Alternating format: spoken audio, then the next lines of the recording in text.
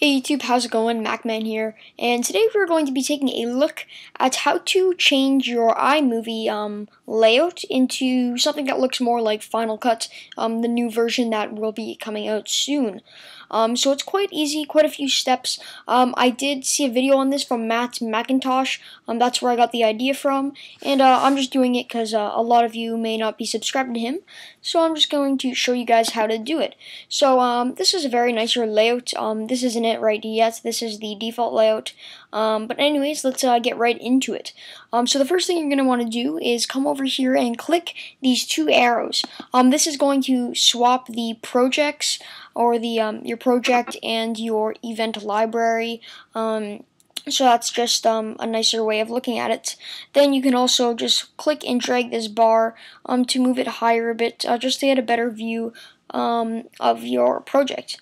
Then uh, the next thing you might want to do is drag this little key all the way to the right.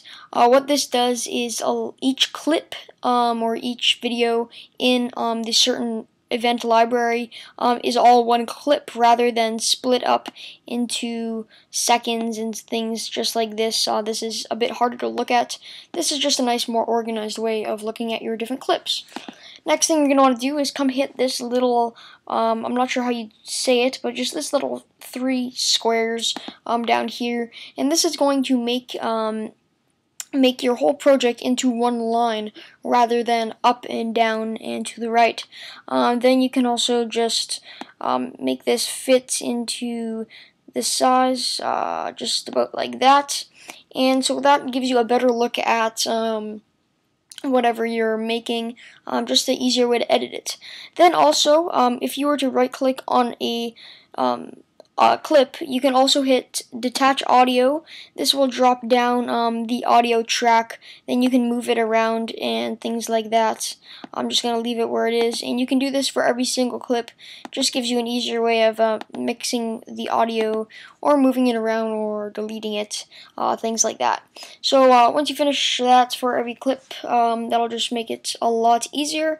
And that's pretty much it, guys. Um, I hope you enjoyed this video. I apologize for the lack of videos um, this past past week or a couple weeks, I should say. I am low on videos.